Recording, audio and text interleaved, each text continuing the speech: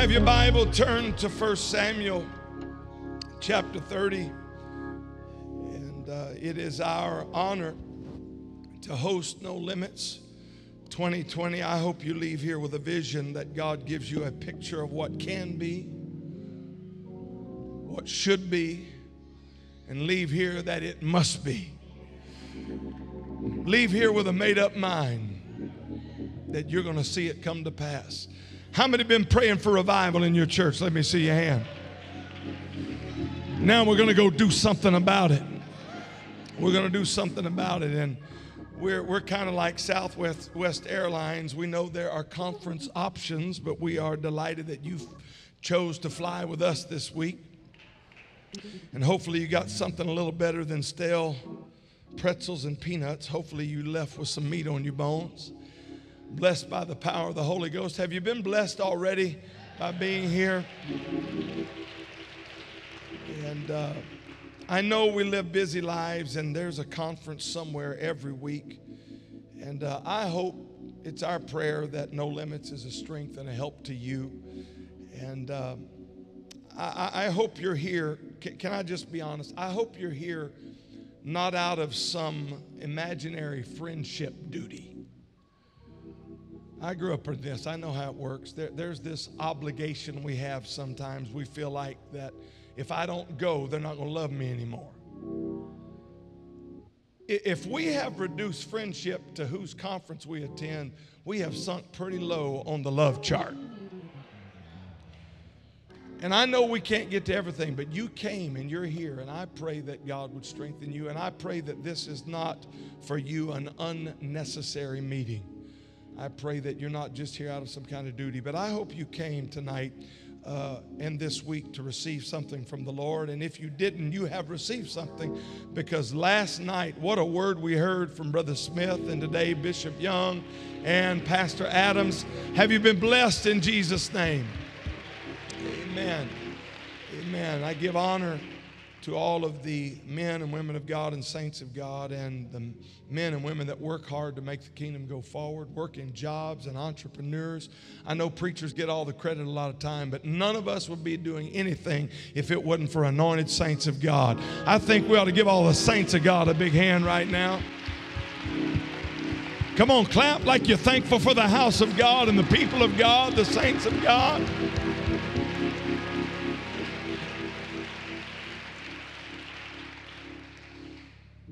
Amen. 1 Samuel chapter 30 and verse number 1. And it came to pass when David and his men were come to Ziklag on the third day that the Amalekites had invaded the south and Ziklag and had smitten Ziklag, Ziklag and burned it with fire. And had taken the women captives that were therein. They slew not any, either great or small, but carried them away and went on their way. So David and his men came to the city, and behold, it was burned with fire. Their wives, their sons, their daughters were taken captives. Then David and the people that were with him lifted up their voice and wept until they had no more power to weep. David's wives were taken. Skip down to verse 6. And David was greatly distressed. Everybody say, greatly distressed. For the people spake of stoning him because the soul of all the people was grieved. Every man for his sons and for his daughters. I find it interesting. They, uh, they weren't grieving for their wives, evidently.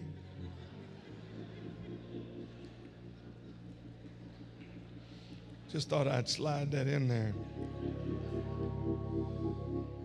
But David encouraged himself in the Lord. Somebody didn't hear that. David encouraged himself. Look at your neighbor and say, You got to encourage yourself.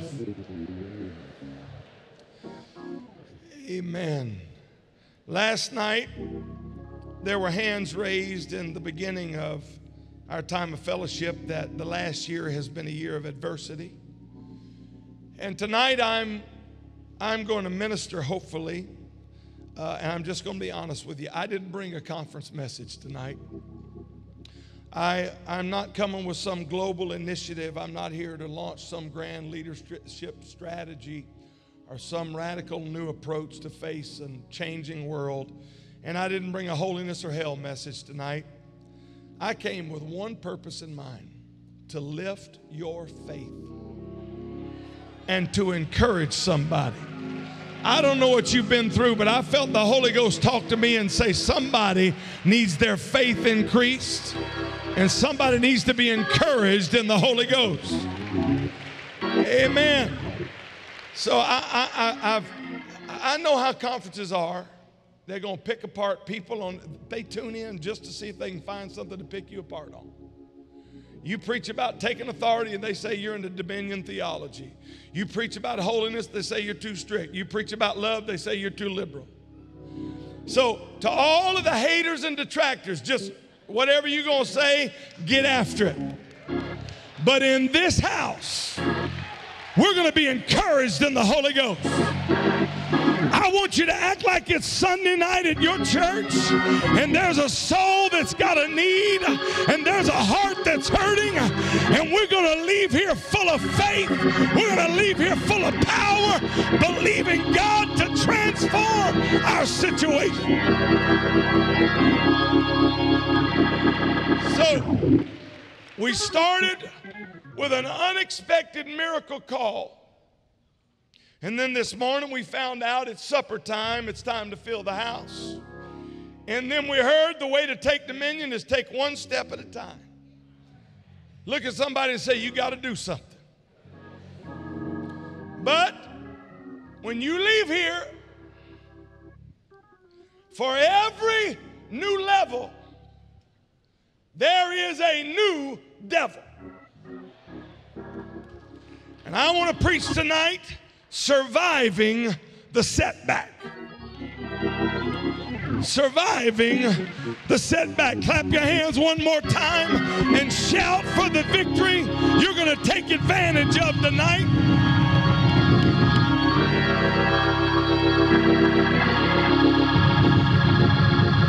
Hallelujah.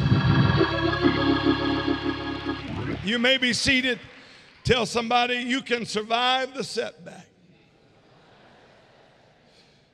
Amen. I looked around this room today and I got a friend here that the devil tried to take out with cancer, but he's healed here in victory. Tim, it's good to see you healed, clothed, and in your right mind. Hallelujah. I came to tell somebody cancer ain't got nothing on Jesus. The devil's a liar and the father of lies. He's still a healer.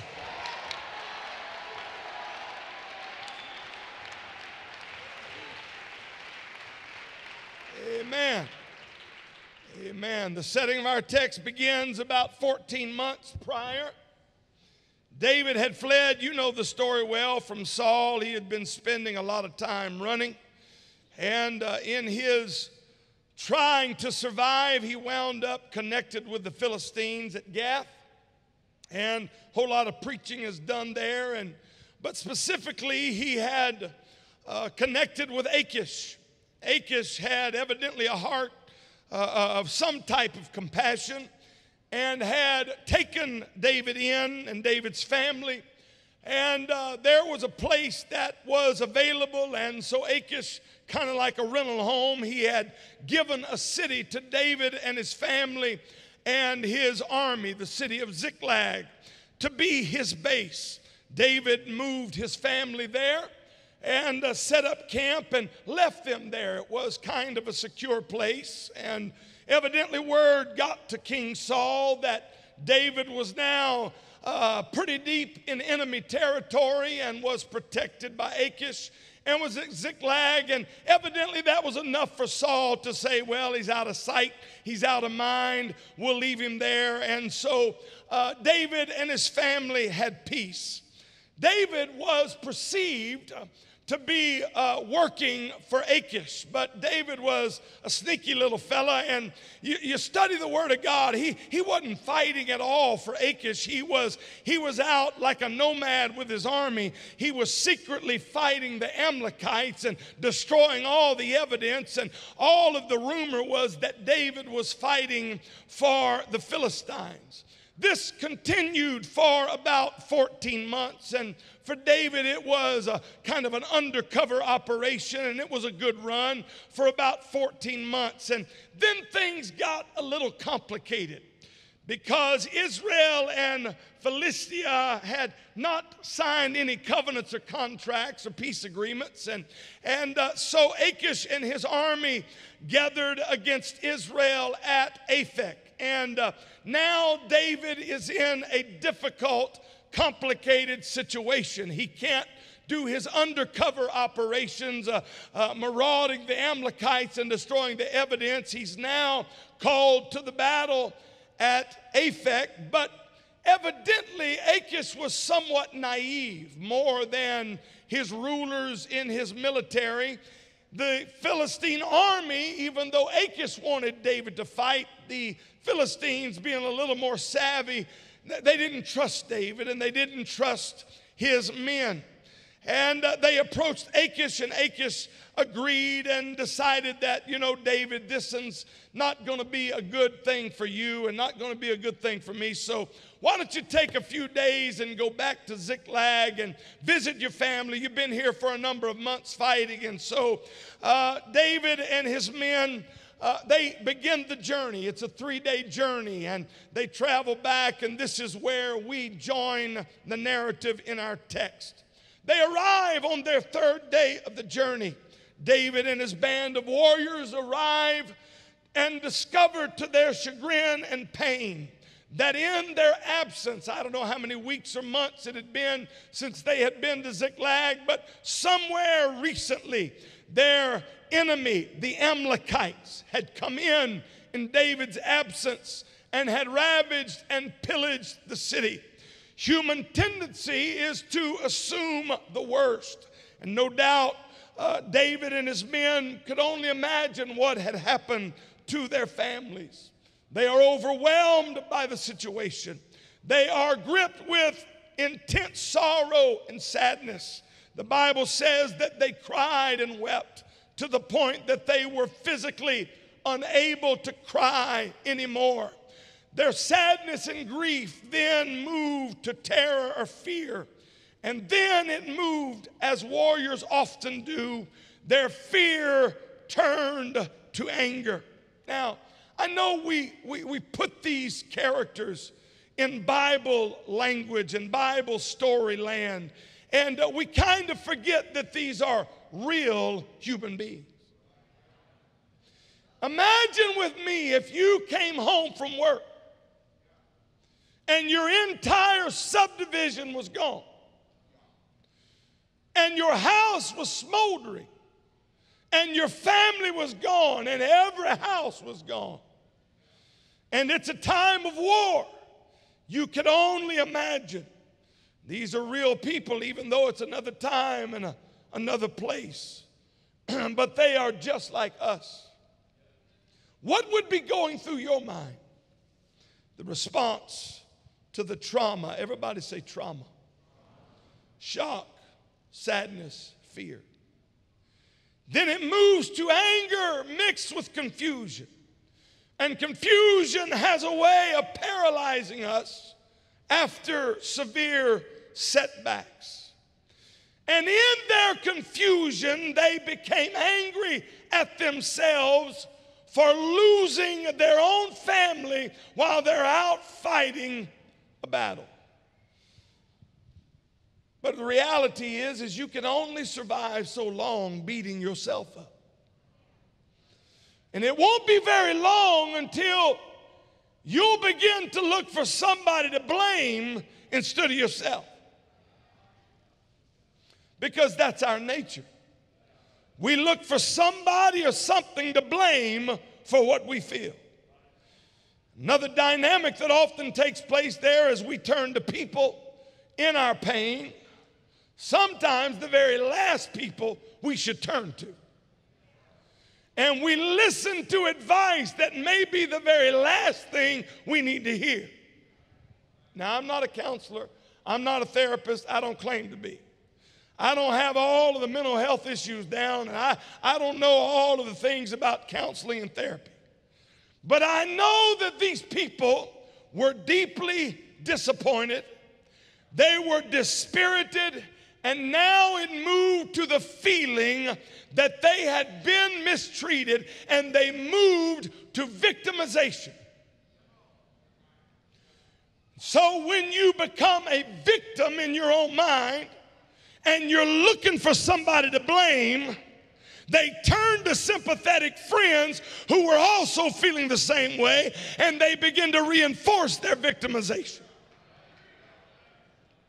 And so suddenly they figured out it's the leadership's fault. Mm. Man, I feel a preacher getting on me right now.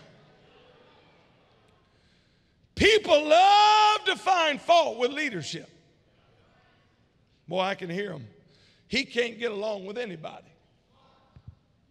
He can't get along with Saul. Saul was a good king. David showed up, got all arrogant, cutting off that Goliath's head. Now he can't get along with, I mean, he provided for him. Couldn't get along with Achish. We had that worked out. He couldn't get along with him. Now we're out here, and I mean, he just has a history of trouble. I mean, they're, they're going down the list of everything that's wrong with David. And now we've lost our family because of him. And his very own army turned on him. Isn't that the way it is sometimes? At the very point where you need support the most, people that should be standing with you turn against you.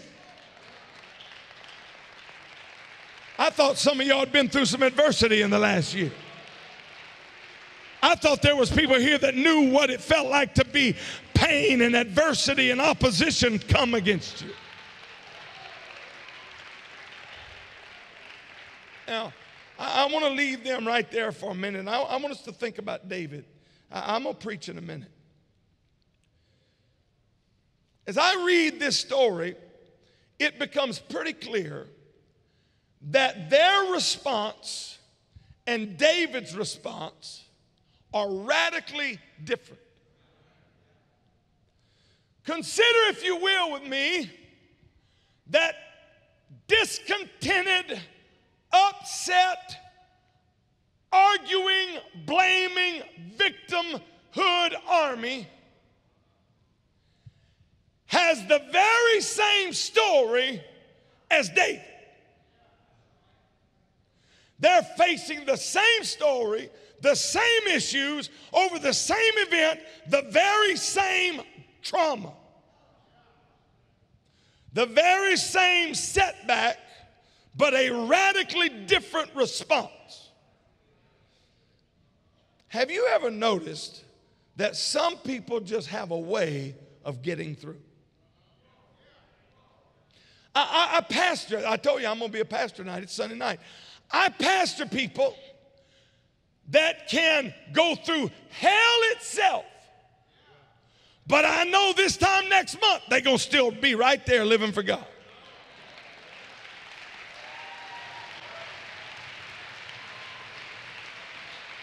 But I got people in the church. If you unfollow them on Instagram, they backslide. Or if their five year old kid don't get invited to the five year old kid's birthday party, they turn on the pastor as if it's the pastor's fault. I've noticed that some people can take hell right in the face and, like Timex, take a licking but keep on ticking.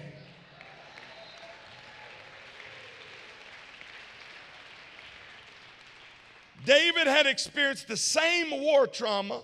He had experienced the same failure. He now had the same survivor's guilt that everybody else had. Don't overlook the human dimension of this. These are real people with real issues, with real trauma.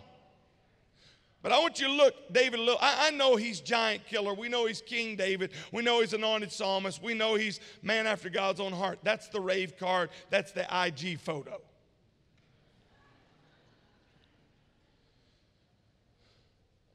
But I want you to think for a minute. David, I know we, we, we almost deified David, but David, there's a lot going on in his life. He's the one that's overlooked out there tending sheep, his own daddy didn't even acknowledge that he had leadership capability when the prophet came to anoint somebody. I got to reading and found out that there is a very strong rabbinical thought that believes that David was the likely, pretty likely chance that he was the Ill- illegitimate son of a mother's affair. Which is why he would pen the words, In sin did my mother conceive me which may be the reason we see this distancing from his father and even his mother. I don't know, but there's that thought. But we do know that the family seems to view him as not much more than an errand boy delivering cheese and crackers. And then we see this divine providence reach down and lift him up. I told y'all this wasn't going to be a conference sermon. He's chosen and dropped down into Saul's house. And it looks like everything's going to come together. He's, he's now in a place of position, and then he becomes the whipping boy to a narcissistic madman. He has numerous near death encounters. He, he endures murderous attempts. I guess that's workplace harassment on top of trauma. Then his life just goes from one dramatic event to the next. The crazy part is now he's got all this emotional junk going on the inside of him because he loves the guy that hates him. He has deep respect for this king who's crazy.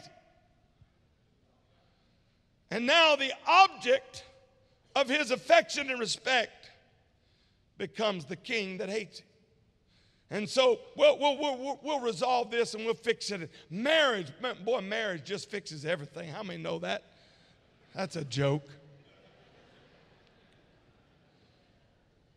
And to make it worse, I don't know what got in his head. He becomes the son in law to the crazy man. How's that for Thanksgiving dinner? And then the chick he married mocks his worship. Oh, we're just getting started. His daughter is raped by a family member. Then his son leads a coup d'etat against him. Anybody depressed yet? Oh, um, by the way, then he commits adultery. I mean, this is the last person I want to talk to in the office. I mean, you just pick a crisis and he's had it.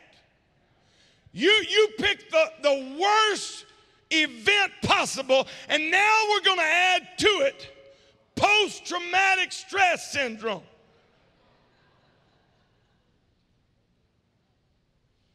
All the men lift up their voice and weep until there's no power to weep, and they decide to kill him. And David is deeply distressed. But, now let, let me qualify. I am not, I am not diminishing anybody suffering from any kind of trauma in their life. I want to say that clearly. I'm not, I'm not a mental health expert. I'm not a counselor. In this church, in this room today, are some very incredible. In fact, before I preached this message, I reached out to them to get some help because I wanted to make sure I was, I was, I was okay. Because I believe in mental health help. And there are people that are in this room that suffer from, from some very, very deep struggles because of what they've been through. So don't misunderstand anything I say tonight. Uh, uh, I am not in any way belittling or diminishing their issues. But I did get interested recently in how people, some overcome and some struggle to whatever degree. I pastored a man for a number of years that had been a paratrooper in the Korean War. And after the Korean War, this was into uh, the early 2000s, he was a member of, of our church. And he told me one time, he said, Pastor, he said, I suffer so bad from the memories of that struggle and the issues that I saw. He said, I have not slept one night since the Korean War. And others just seem to bounce back, and others carry with them And I got interested then to lesser degrees as I pastor people that go through adversity. And I see ministries that rebound and others fall flat and can't ever seem to get it back together. And people that are resilient and others just can't seem to get through it. And I wanted to know how can I be a better pastor? How can I help people that, that go through? Because we're all going to go through things and we're all going to face traumatic events. And, and uh, I wanted to do what I could. And so I began to research and I became aware reached out to people in my church in the counseling field, and I was given some information about a very important figure in our current mental health uh, studies, Dr. Martin Seligman, who is one of the leading uh, mental health experts, who discovered what he has labeled, along with others, learned helplessness. Would you say that with me? Learned helplessness. I told you it wasn't a conference message. How did they come up with this phrase, learned helplessness? Well, they did testing. That's what smart people do. And they started with the prime candidates mice, cockroaches, and dogs. Made PETA proud. And they gave these mice and cockroaches and dogs painful shock. And they did not just give it and release it, they gave it continually beyond the control of the mice, roaches, and dogs. Continual without letting up. And these creatures learned to accept the pain. And they made no attempt to escape it. So then they began to discuss, they researched more, talked, and shared the information. Then they decided to take testing to a new level. This time, the theory would be tried upon human beings. They took three different groups of people. The first group, they exposed to very loud, continued, annoying noises. And they put in the room with group number one, they put a button that was not marked, but that button was in front of the group that was hearing this very loud, obnoxious, painful noise. With no instructions, these people figured out if I push this button, the noise will stop. The second group, they put in the same room, but they disengaged the button and they gave the same painful sound, but no button to stop it. The third group, they took into a room with no button and no noise and just left them there. These three groups were tested on day one. They brought the same three groups back the next day. Same groups, but different scenarios. The same noise was applied to all three groups this time, but all that was changed was all you had to do was wave your hands 12 inches and the noise would stop. Group number one that had had the working button figured out how to stop the noise. Group number three, that didn't have any noise and no button, figured out how to stop this thing. But group number two, from the day before, whose button didn't work, they did not even try. Learned helplessness.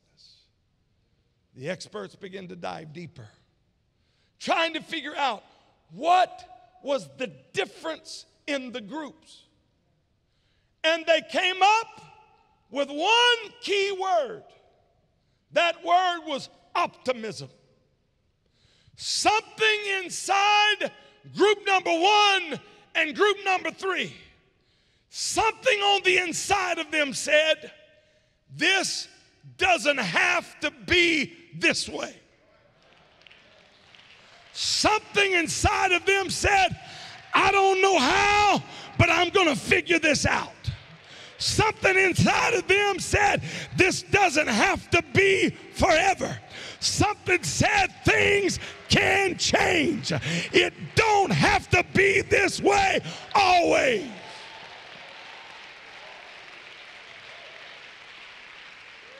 And they begin to say, if you can learn helplessness, then there ought to be a way to prove that you can learn optimism.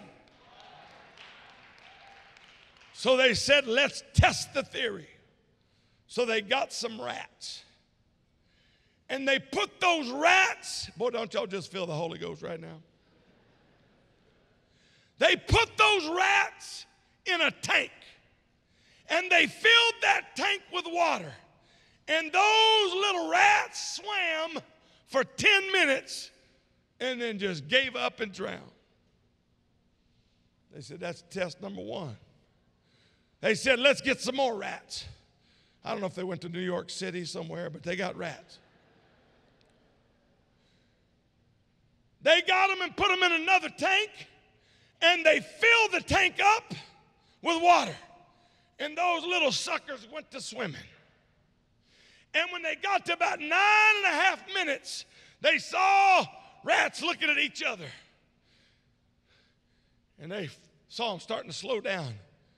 So they drained the tank and took the rats out and set them in a dry place for several minutes. And they took those rats that had been pulled out of the water and they put them back in the tank and fill the water. Boy, don't you feel like that's happening in your life sometimes? They filled the tank up with water, and those rats went to swimming again. But the scientists were amazed to find out that the rats didn't swim for 10 minutes this time, they swam for 18 minutes. Those little rats came to preach to you tonight and tell you if you get a little bit of hope at no limits, you can make it a little bit longer. I don't care how bad it is. If you can just get a few minutes of faith and you can get a few minutes of hope, oh, you can make it a little bit longer.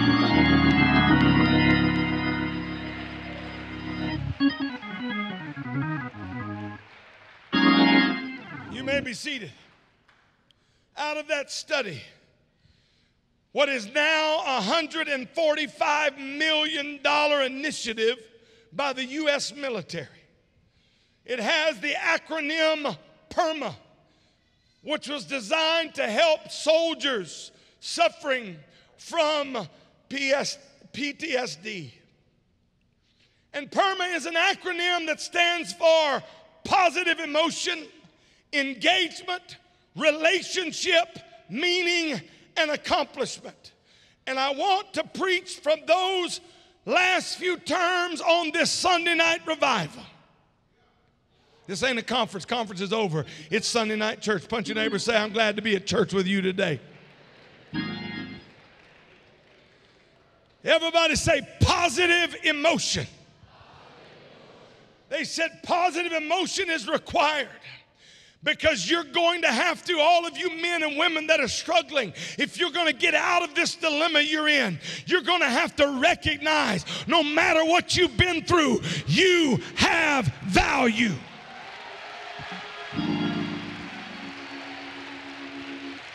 So, Bowling Green State University and West Point Behavioral Science Department, I'm going to give you, I'm not making this up. You can go find it for yourself. They determined if you're going to help people that are struggling with this, they said that you're going to have to help people. They need to build a spiritual core. They describe that spiritual core. I have it in my library. They say you need to connect with something that is bigger than yourself. They said if you're going to get the victory over this, you're going to have to craft a new identity.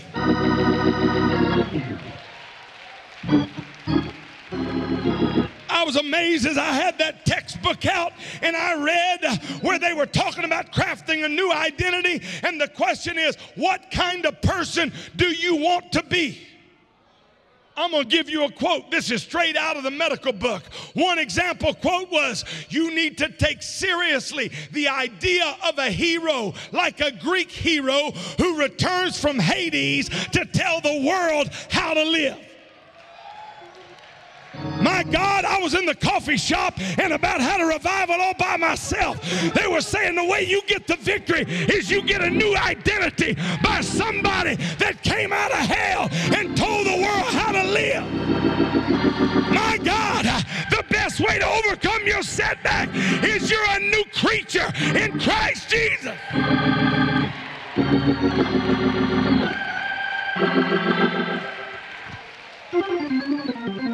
Punch your neighbor say you need to have some healthy, positive emotion. Psalm 16 11, thou wilt show me the path of life. In thy presence is fullness of joy, and at thy right hand are pleasures forevermore.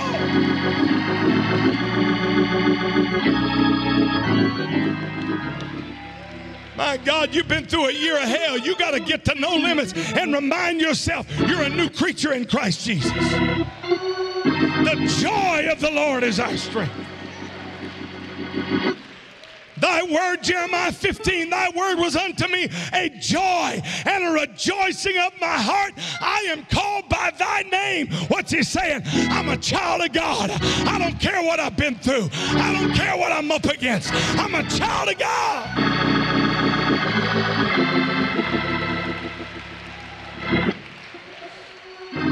You may be seated. Jesus, in his prayer for his disciples, John chapter 17 and verse 3, there, verse 3, he said, These things, he said, he's praying, he said, These things I speak in the world that they might have my joy fulfilled in themselves.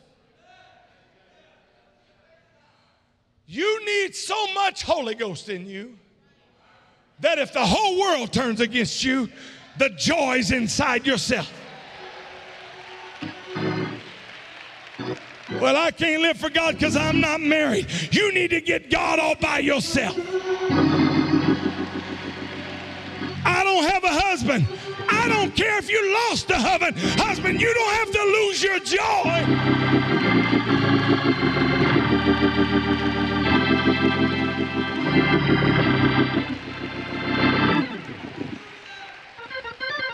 Everybody shout engagement.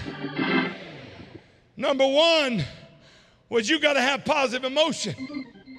They said if you're going to have a spiritual core and come over that trauma, you're going to have to involve engagement in your life. Engagement, as in you're in the game. You're take, like Brother Smith said, you're doing something. In other words, you're never going to be victorious trying to sit on the bench as an observer. You got to get engaged. I, I, wanted to clarify this, so I called. I called Sister Carissa. I said, Sister Carissa, you got to help me out. This, this, this is really too good just to read. So she she directed me. I, I read some more stuff, and, and I, I said, now tell me about this engaged part. She said, if you listen to him speak, talking about Dr. Seligman, she said, you listen to him speak, he will talk about getting in the flow. Is Carissa here tonight? Are you here? Wave a hand at me, Carissa. Where at? Where you at? Am I telling the truth? Wave your hand. Okay, uh, okay, that's a, that's a smart woman right there. She said, Pastor, you got to focus on that getting in the flow part under engagement. I said, What did that mean? She said, That means you get caught in worship. You've been going through hell. You've been going, you know what you need to do? You need to get on that Sunday night and just get in the flow. Woo! What are you doing? I'm praising my way to victory. I'm, what are you doing? I'm getting in the flow. I'm engaging by faith. I'm engaging by life. I'm getting out of the lowlands. I'm coming up to victory.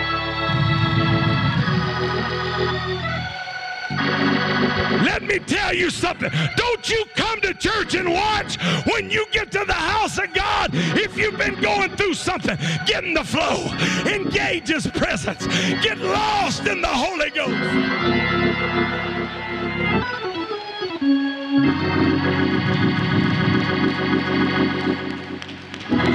The next time you make that corner, somebody says, What are you doing? Just tell them if I don't do this, I'll lose my mind.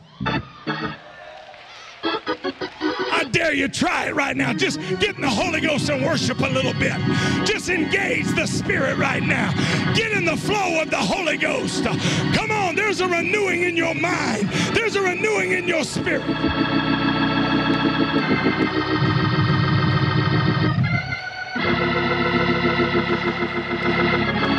Ooh, I feel the Holy Ghost.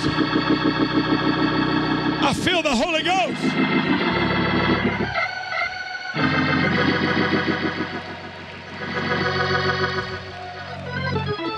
In fact, I ain't, I, ain't, I ain't even preaching the rest. I ain't even preaching the rest of this. My God, it's Sunday night. Conferences you got to finish, but Sunday night, you when the Holy Ghost falls, you just let it fall. R stands for relationship. What I forgot what the other one stands for. Everybody say relationship. Everybody say meaning. Everybody say accomplishment. I'll preach that another time. But let me tell you something. In this thing called the Church of the Living God, we got the best relationships around. We have relationship with one another and we got relationship with our heavenly Father. And we got meaning like you can't even understand. We're a part of a bigger thing that means more than any. I want the singers come up here. Come on. It's Sunday night church. I told you I didn't bring a conference message. I brought a word of encouragement. I've come for somebody to get delivered. I've come for somebody to get the Holy Ghost. I've come for somebody to be set free.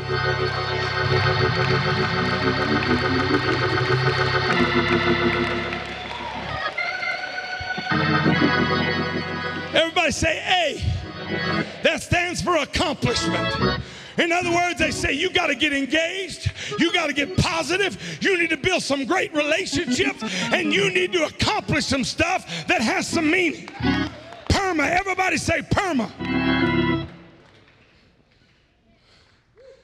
I can do all things through Christ who gives me strength. I can do all things, Brother Cardenas, through Christ who strengthens me. Last night, y'all raised your hand that you've had adversity. So, are you going to stay in that same condition? Are you going to play victimhood? We are more than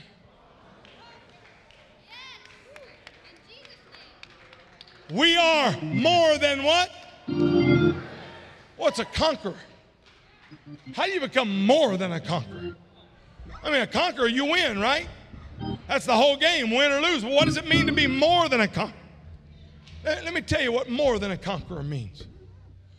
More than a conqueror, let me tell you, conquering, we'll just use example. We'll say you grew up in the poorest part of town with crack houses on every side with no money in your family, a broken home, addicted parents, everything crazy on your street. But something inside of you says, I'm getting out of here. I'm not staying here. Like J.T. Pugh said, with rain falling on him, barefooted and pants too short, as he cried and screamed, I will not be poor my whole will not be poor.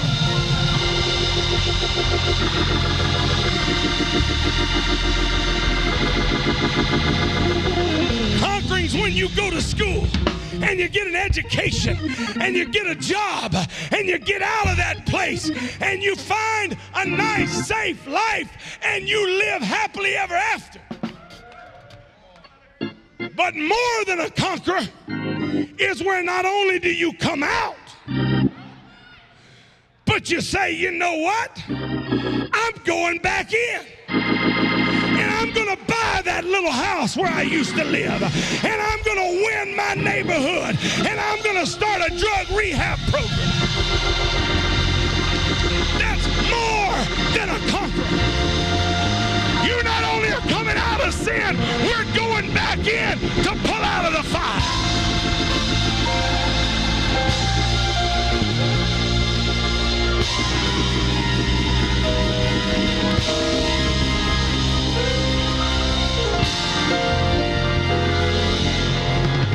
Something happens when you call his name. I don't care what adversity you fought. I don't care what mess you're in right now. Tim, you know, I don't even care if it's cancer. You want to see a miracle? Wave your hand, Tim. That's a miracle right now. Healed of cancer. For me, I've been through hell. I fought all kinds of devils. I faced all kinds of issues. But if you think I'm staying down here, you're a fool, honey. I'm coming out and I'm taking over. I'm going to claim the victory. I'm going to claim my promise.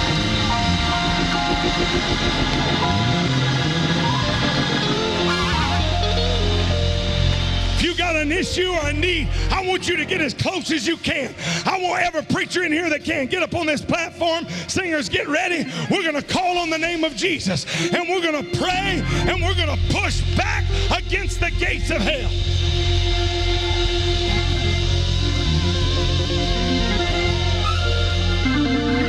How many need a healing in your body? Let me see your hand right now. Hold your hand. You need a healing.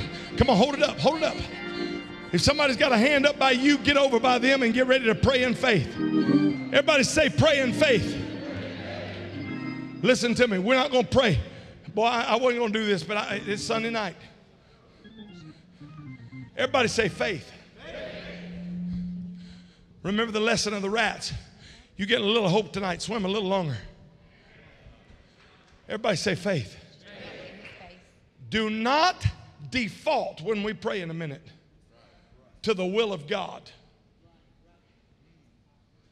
What do you mean, Brother Young? I have grown up in Pentecost. I am sick of hearing this prayer God, heal them if it be your will.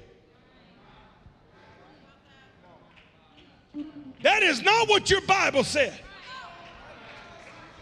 Jesus said, when you pray, you pray from heaven's point of view as it is in heaven, so on earth. The last time I checked, there wasn't no sickness in heaven.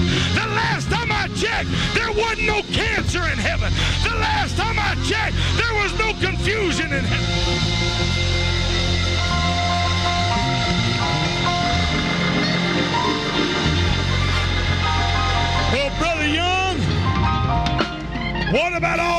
People that didn't get healed?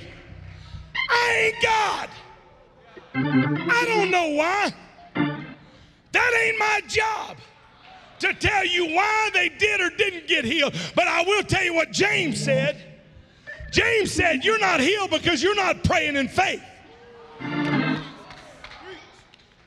When you pray, quit defaulting in case you don't get healed. Well, it just must not be the will of God that I get healed. I bind that devil in Jesus' name. As it is in heaven, so on earth. I'll let God deal with the fallout. I'll let God deal with the results. My job is to pray from heaven's point of view. I wish I had Priscilla Magruder right here to tell you about what it looks like from heaven's point of view. Oh, in heaven, you're already healed. In heaven, you've already got your answer.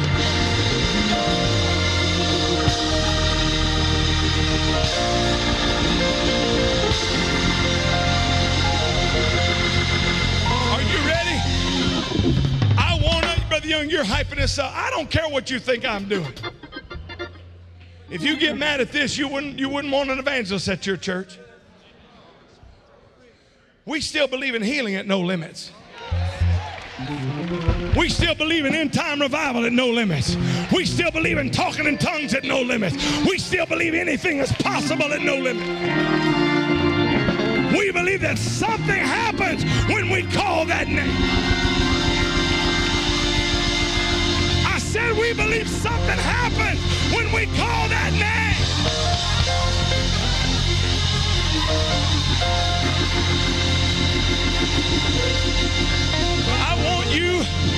They're fixing to sing. We're throwing conference, I, I know all the conference protocol, it's done. I want you to do whatever you got to get into. If you got to clap, you got to move, you got I don't care just you better do something as Bradley Smith would say. But get rid of your doubt. Get rid of your victimization. Get rid of your fear. Quit blaming everybody and say, as of right now, I'm laying hold of a promise. I'm laying hold of a miracle. I'm claiming it. Are you ready? Are you ready? When I count to three, I want you to begin to praise God and speak to your mountain in the name of Jesus. One, two, three, go. Pray, pray, pray. Something happens when I call your name. Something happens when I call